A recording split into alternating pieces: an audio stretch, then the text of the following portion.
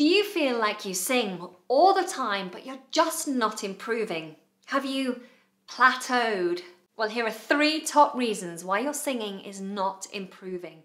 Number one, you're not challenging your voice. It's very easy as a singer to get into a habit of singing the same stuff over and over again because you love it. The problem is that your voice gets used to that and therefore it's no longer coming out of its comfort zone. In fact, you're probably starting to develop bad habits.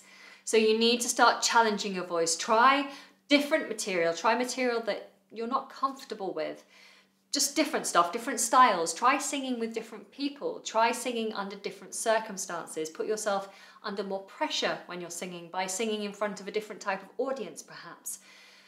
Give your voice a challenge, and therefore your voice has a chance to live up to that challenge, develop, and improve.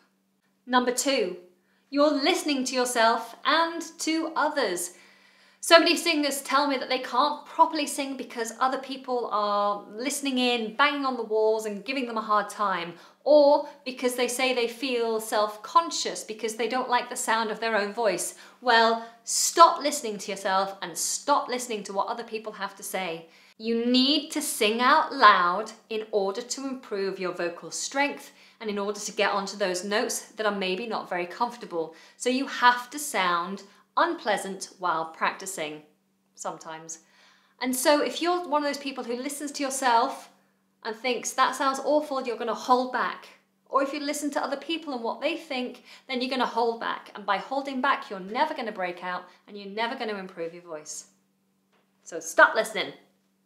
Number three, the most important one, is you are not exercising enough. If you want to have a six pack, then you are going to have to get down to that gym, do lots of cardio, lots of ab crunches, lots of core body work. You need to do lots of work. So, therefore, if you want to have a nice voice, a healthy, strong voice, then you are going to have to exercise more often. When I was improving my voice, when I went from being completely off key and having no vocal strength whatsoever, I was exercising every single day of the week. Not necessarily for a long time, but I was putting in regular practice, even if it was just half an hour of exercises. So, if you want to improve your voice, you've got to exercise regularly, stop listening to the naysayers, including yourself, and challenge your voice. And guys, if you are stuck and struggling for exercises, maybe you already use some of my exercises and you like them, but I've just told you to change things up. Well, there are a whole host of exercises here. I'm regularly uploading different types of exercises to challenge you all. And so all of those will be linked in the description box below. So go and check them out.